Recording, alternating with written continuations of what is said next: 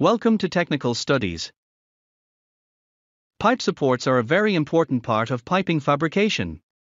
In this video, I will show you how to calculate the length and cutback of the bracing of a piping support. This method is not only applicable to piping but also to structural and storage tank fabrication. Most of us knew how to calculate the length and cutback if the leg lengths are equal. If you don't know, I will show you a simple calculation. Multiply one leg length by 1.414. Remember, this method is applicable only if the leg length are equal. If both the leg length are equal, the including angles also will be equal and 45 degree. Here, the size of the beam is 220 mm.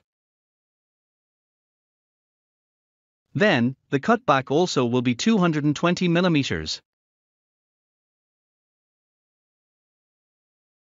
Suppose, the width of the bracing is 125 mm, then the cutback also will be 125 mm.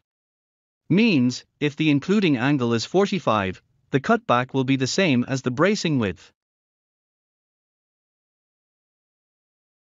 In this example, the top leg length is 1340 mm, and the vertical leg length is 1600 mm. What will be the length and the cutback of the bracing? Let us calculate the including angles. Tan degree equals 1340 divided by 1600.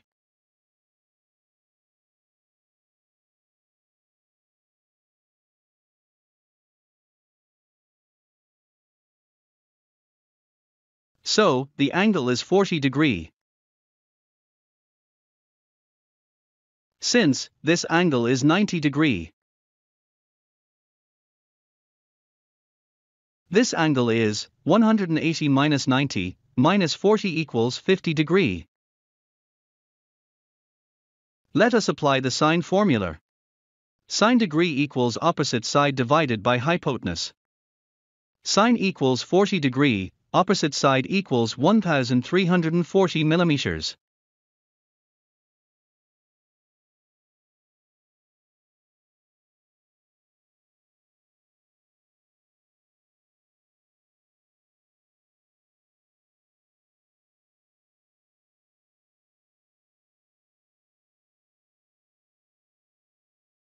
So, the length of the bracing is 2084.6 millimeters.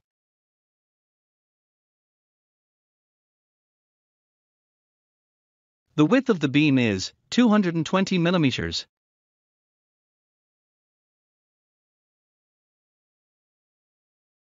And the including angle is 40 degree. Here, we will apply the tan rule to find the cutback length. Tan equals 40 degree. Opposite side equals 220 millimeters. Cutback equals opposite side divided by tan degree.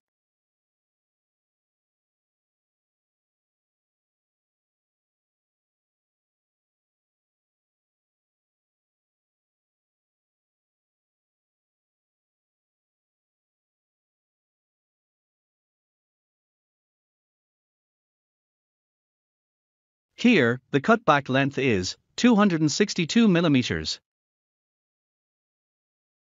Apply the same formula to calculate this cutback.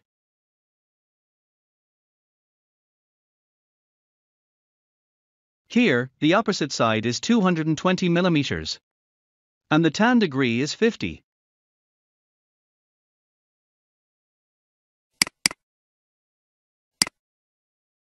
Cutback equals 184.6 mm.